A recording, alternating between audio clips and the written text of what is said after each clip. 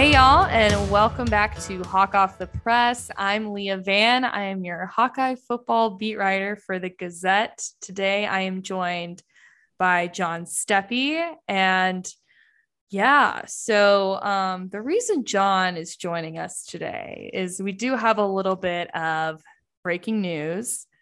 John will actually be taking over as the Hawkeye football beat writer after this week. This Saturday will actually be my last day covering Hawkeye football. Um, so this has been kind of a whirlwind of a two of past two weeks. I actually got a new job covering LSU football for the Advocate down in Baton Rouge, Louisiana. So you could say that I'm pulling a Texas and moving to the SEC. My cat is talking to me.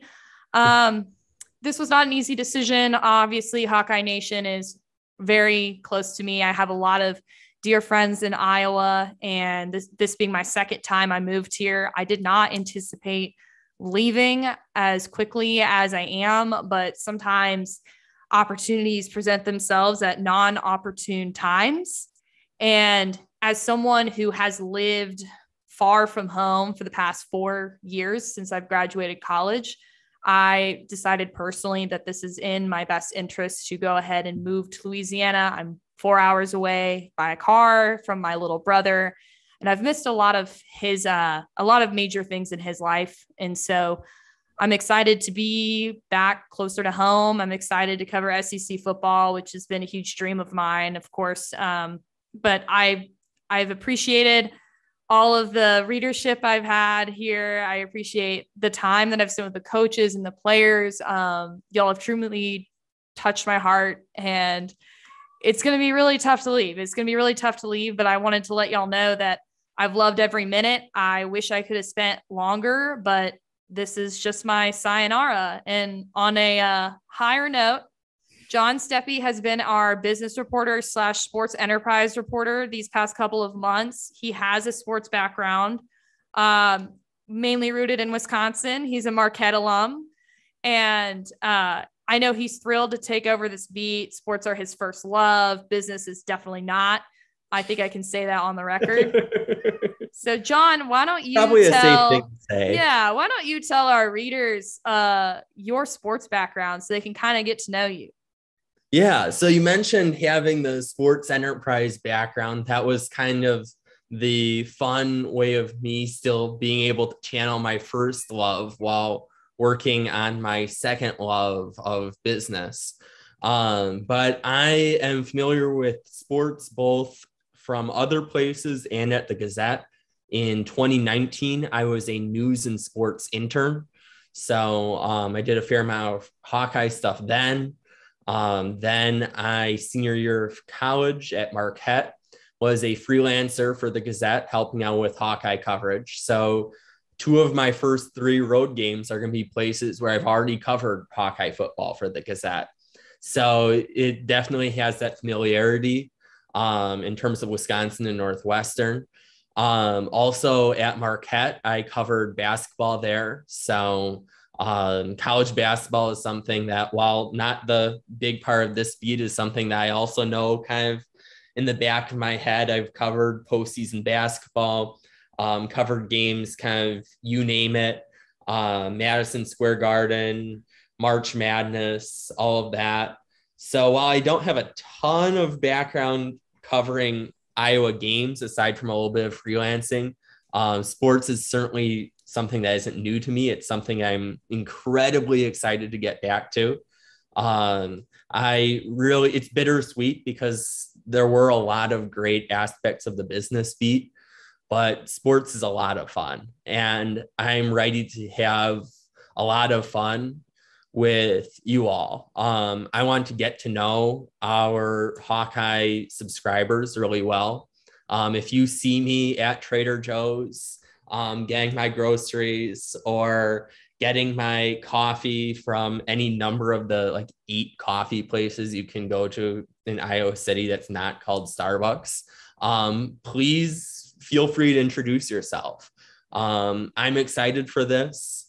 Um, this isn't possible without our readers. And well, in podcast form our listeners. So um, I am very excited for this new journey. It was fun spending today around Kinnick and the Hansen practice facility um, with media availabilities today and looking forward to telling a lot of excellent stories. Um, as Leah mentioned, I am born and bred Midwest. So grew up watching the Big Ten. Um, was did not go to Wisconsin. Not a Wisconsin fan. He's a Marquette fan, which yes, their football so, team is non-existent, so they're also undefeated. Yes, yes, they are undefeated since 1960 which I definitely have not brought up to anybody, any of my friends who have struggling college football teams. And I certainly wouldn't have said that to Leah before. But yeah, so true Midwesterner, um, love my cheese curds and my frozen custard. Um, he already fits in of- better than I do. And uh, we did do the food reviews in the newsletter this summer, just so everybody knows. The newsletter will continue under John. Uh, I will be writing the last one th- uh, under my name this week. Um, so you can read that. And then, um, yeah, he will be re- continuing this podcast. I think he will be keeping a lot of the same format, but also adding his own flavor to it because it is John's beat now. But yeah, he is a Wisconsin boy, but not a Wisconsin fan. yes. So that is a big distinction there. It's funny when I first moved here, not as intern John, but as full time reporter John, people are asking, Oh, where are you from? That kind of thing. I'd say, Oh, I'm from Wisconsin, from the Milwaukee suburbs. And like, Oh, Badgers? I said, Oh, no, no, went to Marquette. Don't worry. So that's one thing that, um, yeah, I've already had questions about when I started on the business beat um, so yeah, yeah, I'm I'm excited. Well, John, I'm really excited for you. Of course, you being one of my close friends here at the Gazette. Uh, I know how much you wanted this, and uh, yeah, just over the moon. But you know, since we are still together here, you know, sharing the beat this week, we're sharing the beat through Wednesday of next week. Uh, let's talk some Hawkeye football. Yes, let's do that. Yeah, and enough of this kind of big career news where I mean, you're talking about moving, and I'm thinking, oh man, Leah's moving, but here's this great thing for me. Yeah, let's get back to football here. Yeah, let's get to like sunshine and rainbows and uh, Spencer yeah. Petras passing the ball more than 15 yards. Yeah. Okay. So, uh, by the way, John will be getting this fancy microphone when I leave, so he will have the better audio. Um, that will be the most exciting part of this whole thing. And it's clearly, like nice little having the podcast color. microphone. And if y'all remember, we did do a podcast together on NIL or, earlier this summer in the Alston case, and so he's very knowledgeable about you know a lot of that side of sports too, and especially with the business mind. I think it's going to be really exciting here um, with all the NIL deals that a lot of the players are starting to get into. Um, you know, on the horizon. But my first thing is I know that you've done some scouting on Colorado State. So I was wondering if you could give us a breakdown of what these Rams are going to bring, including this like very notable tight end. Yeah, I don't think you can get very far in talking about the Rams without looking at tight end. And this probably isn't something totally foreign to Hawkeye fans, considering just how many great tight ends that have gone through mean, Kinnick over the years. But this is a guy who you really have to think about where Colorado State upset Toledo, a pretty good Toledo team as non Power Five programs go. Where the week before, Toledo was hanging right in there with Notre Dame, didn't end up winning, but it was a competitive game.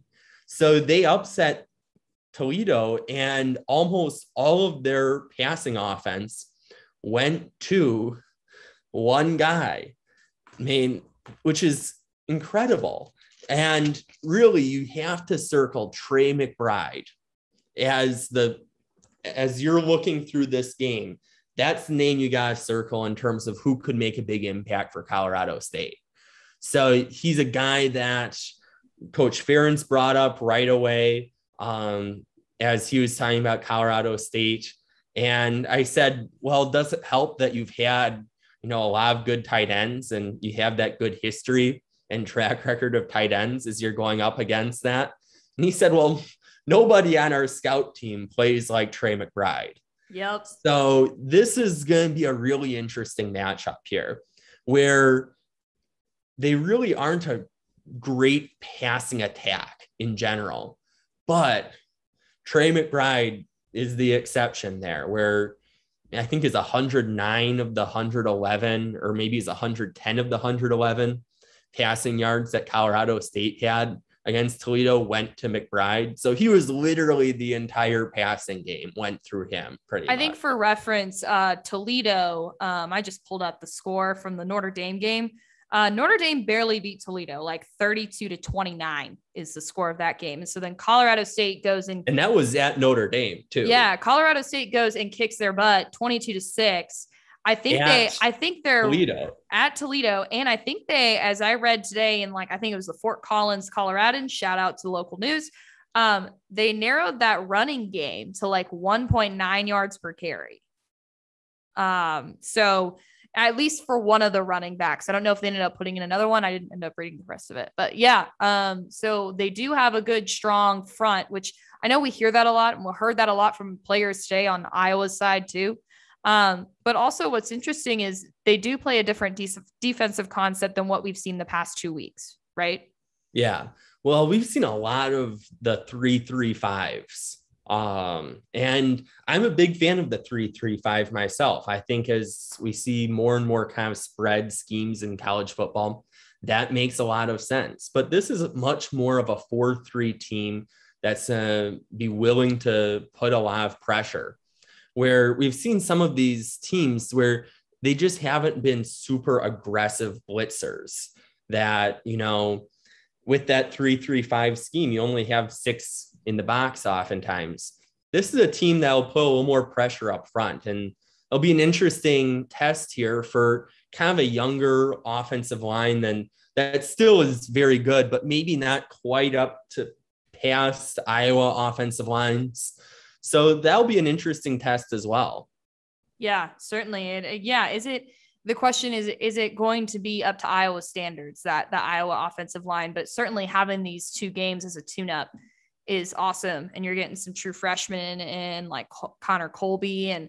I know that Kirk Ferentz was talking about, you know, the importance of having multiple guys who can rotate in and, you know, having that versatility, especially with Kyler Schott just kind of making his way back into the lineup gradually, right? He's got to get in Yeah. shape. So Yeah. You know, those hay baling accidents are, they really are devastating. Uh, yeah, I will be coming out with a story on that. Uh, but Kyler was really funny today. He's like, "Yes, I have bailed hay like many times. Yes, I have jumped off of hail like uh hay bales like many times, and this has never happened until this time." So, um, it was kind of funny. I know he was sick of talking about it, but you know, we had to ask. We're asking. yeah. And he was a good sport about it, I thought. He was. He was. Um, and one other thing about Colorado State that this is totally the nerd in me, but their punter is incredible yes. and has been one of the best punters statistically this season. There's been a lot of talk about how great Tory Taylor has been, and he has been great. But the Colorado State punter is even better. And he had like an 81 or an 82 yard punt against Vanderbilt earlier this year. Jeez. And yes, some of that's coming off a bounce. You're not going to get all of that on air. But I'd say, I mean, rough math here, maybe 70 ish was in the air. So that's another thing where there's been a lot of talk about how kind of Iowa's done well in terms of field position with Tory Taylor being such a great punter. Well, now maybe they get a little bit of a taste of their own medicine. But the issue is, I don't think that the rest of Colorado State is going to be that much of a threat. So might be seeing a lot of punting from the Rams. that might be their only angle. Uh, that and their tight end. We'll see though. We'll see. Uh, Yeah. Um, yeah, but I know a lot of people have been questioning about the offense, like our mailbag question. We had one mailbag question so far. I have not gone back on Twitter since logging on to Zoom, um, asking if Spencer will throw the ball more than 15 yards. You know, we saw a lot of those little bubble screen passes. We saw, uh, you know, a lot of those little pitches to the outside that aren't even passes. You know, they're just kind of like they are running plays. Um, but um, you know, the thing about Petras is this is the exactly what Brian Ferentz said he designed the offense to do. He said if you want his completion percentage to be better, he's going to throw short, shorter passes, low risk passes. He's not going to turn the ball over, which is incredibly important. And especially when you're playing, you know, you're opening up with Indiana, you're opening up with Iowa State. Now I feel like he's got some leeway to throw some like, I don't know, get get jiggy with it, you know, like get fun. And I asked Petras today, I asked him, I was like, do you have aspirations to throw the ball deeper? Which he did. He threw a 48 yard pass to Nico Ragaini in last game, and an 18 yard pass to Sam LaPorta. Um, he was like, yeah, I mean, obviously, and he said something about how you know, if you are able to execute those bigger plays, it does give you a 60 a 60% chance um, of winning or like a better chance of winning. Um, or you know, sealing out the game at that point. I'll have to go back and reread the quote. But yeah, um, he's very into analytics. Um, he always brings up a percentage. I don't know what his deal is. Um, but Petras, some notable things that came up in our notes is that he's gone nine, cons- you know, nine consecutive wins under Iowa quarterback Spencer Petras. 25 for 36 for 209 yards passing the last game. That's a 69% completion percentage. Um, 25 completed passes is just short of his career high. Um, and through those last, let's see, nine games, 10 touchdown passes, two interceptions, um, but no interceptions in the past five straight games for him. Uh, as far as the running game, uh, Tyler Goodson was the first running back since Akrum Wadley to have three touchdowns in a game since 2017 against Nebraska. And yeah, we've got some defensive statistics that I can bring up later. But um, John, I wanted to ask. like we've gotten more questions though as oh, I yeah. open up Twitter. Let's so, fire them away. Fire them. Well, one that got thrown, I'm assuming it's in my direction. Yes. Um, was how many parties did you go with with D Wade? So yeah, that one D Wade is a little older than me. Yeah, and by a little, like almost 20 years. So unfortunately, no parties with him. Um, although you know, Milwaukee, Maine, Wisconsin in general is kind of a drinking state, but yeah, no, I had interviewed him. Um, he's a good quote, but no parties with him. Um, and then back to football. Um, got a question. Were there any concerns slash pain points that the coaching staff mentioned from last week's game? If Jacobs doesn't force that fumble, you're looking at a one score lead over a MAC team in the second half. And that's a great point there. That is a great point. Um, I did not, I mean, I have not sensed any concern from any of the coaches or players so far, other than the fact that they wanted. Um, they keep saying, you know, we got to keep working on our offensive line, our defensive line. What what did you assess from today? Yeah, I mean, it didn't come across as a coaching staff that was concerned, and um, because that, frankly, is a good point that it could have been a lot different than it was. It's kind of the 30 to 7 game that didn't feel like a 30 to 7 game. It really um, didn't. Like it felt a lot closer where it's like, wait a second, that really is the final score. It's a 23 point game. I really didn't think they were going to cover there when they were when Kent State was driving down to the one.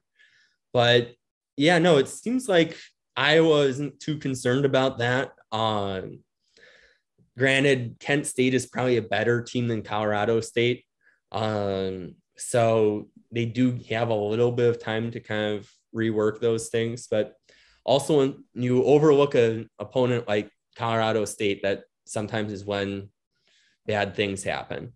So you don't really want to necessarily overlook this game. Well, and I think it's important to note that, um, you know, after I'm trying to go through and look at the game report to see you know, after that turnover on downs, you know, Kent State really did not drive the ball very far after that. Um, oh yeah. I mean, the defense that was really, really a turning point. I'm trying to remember if that was the series in which, um, let's see, turnover on downs. If that was another one of those series where there was a big play by Keshunn Abram. Yes. Oh gosh. Uh, no, maybe not. This was a just a gradual drive, but they did. Yeah. Hmm. No. Okay. So there were a couple of big plays that Iowa gave up, right? Which Iowa's defense does not give up a lot of big plays on offense. Um, no, it seemed really uncharacteristic as I was watching that. Like, and it wow, was just too Iowa secondary that I'm used to seeing. And it was uh, Riley Moss kind of got he was describing it after the game too, and he was saying, "Yeah, I got burned on these pa- these two passing plays to Keshunn Abram." Uh, basically, you know, he was caught in that that situation where he's like, do I push forward and go to try to catch the pass or do I go backwards and try to cover? And in both times, he was kind of defaulting back to, you know, I'm going to go for this pass rather than going back and covering. And he said he got burned. They they totally read his mind. Um, and so, you know, he uh, so he did get burned on those two plays, but then he ended up with the fumble recovery, you know, forced by Justin Jacobs and Jack Campbell. So and then, you know, the rest of the second half, you know, Terry, we did get to see some of Terry Roberts play for Riley Moss. And then Moss, you know, did a good job of, you know, having that short term memory and, uh, you know, covering. So I think that those are going to happen. And I think that's what Riley was saying. He's like, you know what? Sometimes those big plays happen. And, you know, everybody's got to make those big plays. You know, it's just, it's just par for the course. And just by pure statistics, it's going to happen. So, um, you know, that was part of the reason why, and I broke it down in my game story this weekend, or not just game story, my follow up was, yeah, it looked in the after the first half like Kent State had the more explosive offense because it did look that way because you had two 40 plus yard passes by that quarterback. And so he's averaging like 20 yards per pass, where Petras is averaging seven you know? So it looks different. It's an offensive style thing. And uh you know which one is going to be more accurate uh, is the short passes. So you know it is all on the play calling at this point. Um john i'm i'm curious what stood out to you about that kent state game? Well i thought i mean kent state showed some things that kind of went well. And i think that it really could have been a much closer game had things gone a little differently. I think that, you know, you're looking at continued special teams um, performances that have been impressive to think that um, I think is Ivory Kelly Martin who was diving for that punt where it was probably about this close. Well, saying this close doesn't really help for our audio only listeners, but for our video listeners, this close from downing Kent State within the one. Mm-hmm. Um, I think the defense didn't have its greatest game um, at times where they've kind of did get bailed out a few times um, by the turnovers, by Kent State not having an effective kicker.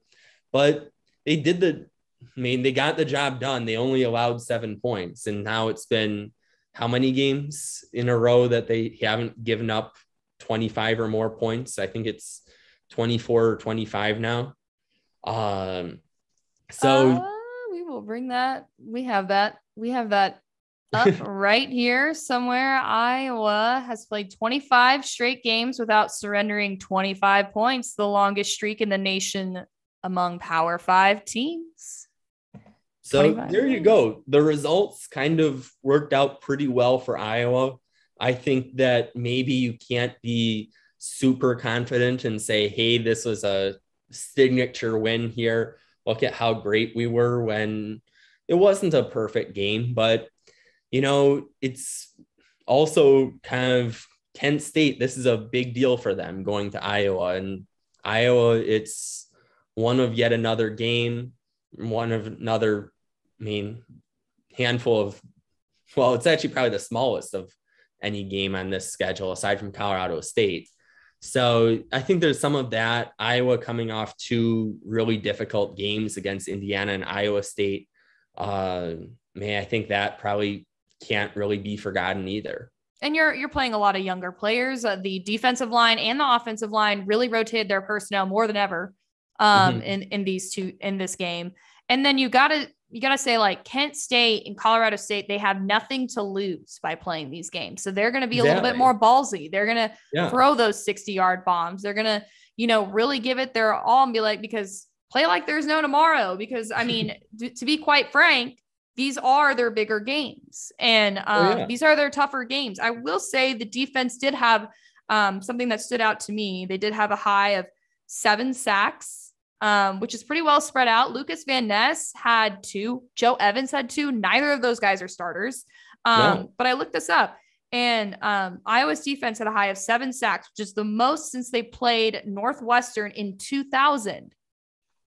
So that's been a while. That's a really that's a quite a staggering. I know it's against Kent, against Kent State, but you think about all the other non-conference opponents that Iowa's played over the years. That's a pretty long time to go without seven sacks. And so I think that's something that's pretty stellar and says a lot about this developing defensive line that everybody was so worried about.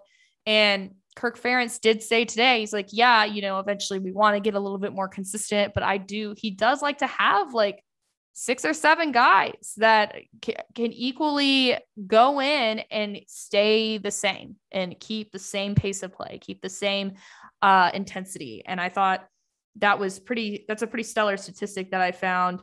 Um yeah.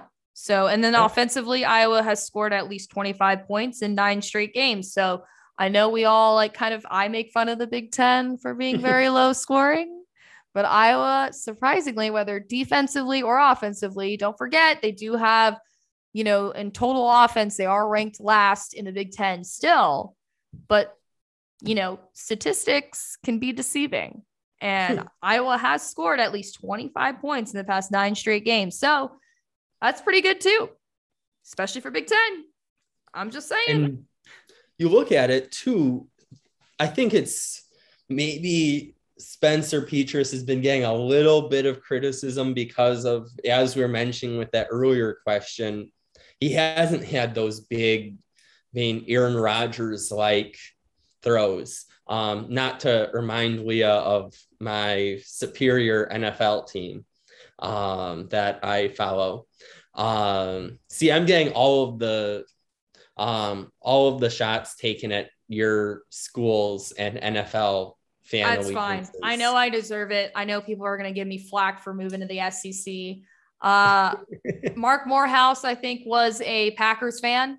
So this is not quite as much a, of a culture shock, and people hate Cowboys fans. So, I mean, I guess they're probably like, good riddance. This Leah Vann girl is leaving town. I'm so sick of her.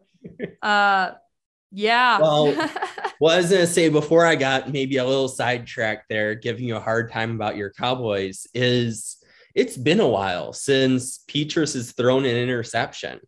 If I'm looking at this, last interception was November 27th against Nebraska on Black Friday. So it's been a while. And, you know, if you would have said at the Nebraska game, hey, Petras is not going to throw another interception in the rest of this season and the first, let's say, we're about almost a month into the next season, I think people would be pretty happy with that. Yeah, and I think there was um Petras has brought this up a lot, saying that if they don't turn the ball over, they have like a 98% chance of winning. I uh, love these probabilities. I know. I also would like him to cite his sources or like let's bring out the analytics guy for Iowa and see if he can verify all these percentages that Petras is throwing at us.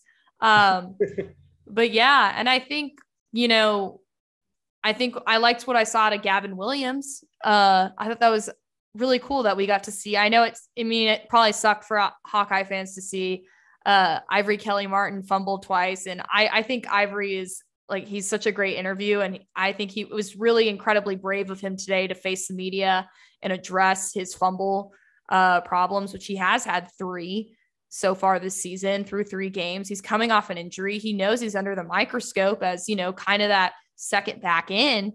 And um, I thought it was incredibly brave of him to face the media today.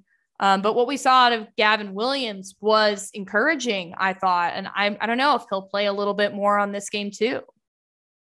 Well, going back to the Ivory Kelly Martin point, if I had three really bad screw ups in articles, I it wouldn't be exactly a fun time to then get uh, peppered with a bunch of questions about it. Um, so credit to him there. That's that's not an easy thing. Um, I think that speaks to his character and the reason why he is he was voted a captain last week was that's the kind yeah. of leader that Ivory Kelly Martin is for this team. So, you know, whether it's on the field or off, like he is kind of an he is an intricate piece of this offense. Yeah, and he didn't shy away from those questions either. So, um to the point about um Gavin Williams coming in there, I think that's a great chance here for Iowa fans to get to see something different. Um, I mean, I'd be surprised if there's any movement on the depth chart there, but it's nice to see what could be maybe coming down the road at a later point. Absolutely. And I think another thing that was notable is Petras did tar- have several different targets um, in the passing game. We saw the first reception by Arland Bruce. We saw Jackson Ritter, who's a name we don't see very often. Keagan Johnson was in on a couple plays. Tyrone Tracy had a bigger game. I'm interested to see if Tyrone will get the ball more this game. We're talking to him tomorrow. Um, yeah, I think that was something that was also notable on this offensive game is that you're not just throwing to Sam LaPorta, who is the top receiver as, you know, the tight end, obviously at Iowa, but you are seeing Petras target some other guys on that field. And I'm interested to see if he's going to pass the ball around more again against Colorado State. Yeah, it'll be interesting to see. It could be I mean, you mentioned LaPorta. It could be kind of a battle between two tight ends that are used kind of in a lot of different ways. So um, that could be an interesting mashup this Saturday. Well, as interesting as a, I mean, upper tier Big Ten team against a lower tier Mountain West team can get. Um, so there are very few Big Ten teams that are that are left that are undefeated. Um, we got yeah. a list here, especially I think Iowa might be. I should have had this note pulled up, ready to go, and I did not. Oh, maybe I just pulled There's this up. Penn State still. Penn State. Um, Let's see how um, much we can remember off the top of our heads here. Purdue lost, so they were the other Big Ten. Okay, here we go. Uh, wait, yeah. So Iowa was the only team in the West. And then in the East, you actually have still a handful of them. Um, Maryland, which will make for an interesting matchup next Friday. Um, I will be in College Park for that. Um, you've got 20th ranked Michigan State. Um, you've got sixth ranked Penn State. So got some interesting matchups between Maryland and Penn State to lead off the Big Ten year for, well, lead off the non week one Big Ten year. Uh, kind of easy to forget about that Indiana game. And then you've got Michigan and Rutgers, who are also undefeated. So usually you don't really hear about Rutgers being 3 and 0 to start the Big Ten season, but crazier things have happened. I will say Rutgers, I just pulled it up, has played Temple, Syracuse, and Delaware, and they play oh. Michigan this this weekend. No, they play Michigan. Yeah, this weekend. Yeah, I'm guessing three and zero oh won't last. Just um, uh, hot takes. Michigan yeah. is number 19. So yeah, just a guess there. So I think that East crowd could get whittled down a little bit. But it is interesting about um, Iowa being the only undefeated left in the West. And the only team that hasn't played a Big Ten game yet is Purdue, and everyone else has lost at least one conference game. So right now, Iowa's solely king of the hill in the Big Ten West standings. Obviously, a long, long way to go ahead this season.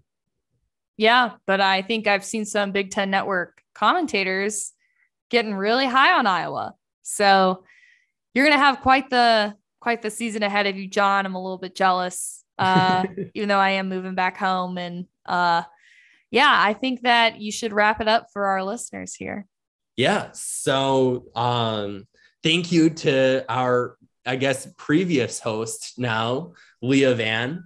Um, so on behalf of Leah, on behalf of our producer, Nathan Ford, um, thank you for listening to the Hawk Off the Press podcast. We will be back Saturday for after the final score.